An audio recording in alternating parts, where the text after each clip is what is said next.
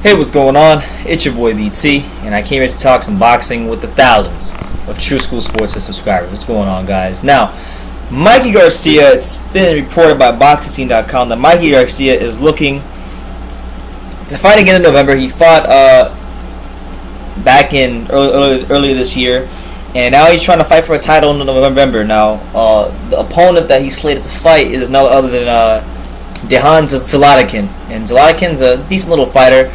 Uh, I don't really take him too serious as far as a champion, but he's still a good fighter. And for Mikey Garcia at the stage, it's, it's a chance to get his to really get his name back in the mix, beat a guy who's a notable name, and um, start ascending his way back up the rankings as far as the best fighters in boxing. Now, um, for those of you who don't know, uh, this fight was actually supposed to be on the undercard for Berto, Andre Berto versus Danny Garcia, which was slated for October. Now, that, obviously, we know that that hasn't happened. Danny Garcia is still kind of in limbo and looking to make a fight happen.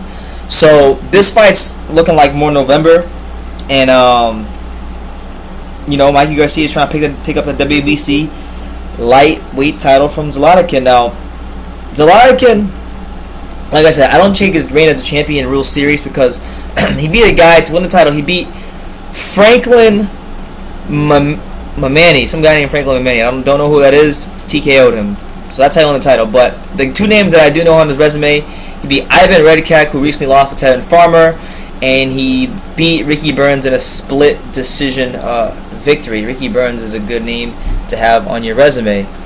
Um, so yeah, I mean it, it is what it is. Zlatikin a, is a name, but he's not someone that is like a, a world beater like like that. But still a good name. So Robert Garcia actually uh, had something to say.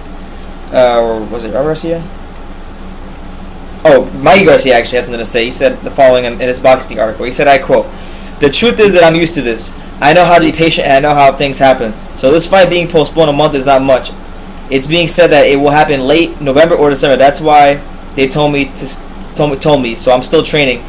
Uh, the fight for the WBC lightweight title will be for the WBC lightweight title. It was originally being handed handled for October. It was assumed that Garcia and Berto would be in the main event, and they didn't have enough time to finalize the card. So we are still waiting for that card. They had mentioned. Uh, it was a very solid undercard, but it never got done. I do not know if this is if this new date is going to be this on the same card or not. Zlatikin is a good opponent from what I've seen in videos. He is strong. He has a lot of confidence. Uh, he was recently crowned champion, and he's undefeated, and certainly willing to fight someone.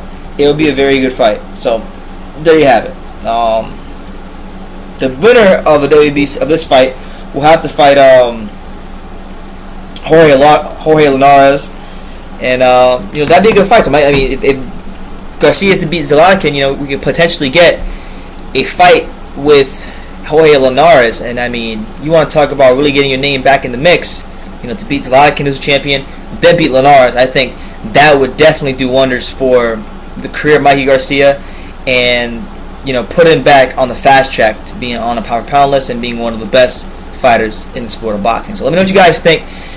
Mikey Garcia, Zlatikin, rumored for November. Uh, what do you guys think about this fight? And from Mikey Garcia, leave your comments down below. Take the time to subscribe, and you can love me or you can hate me, but I'm just a kid from Daniel. So until next time, take care, guys.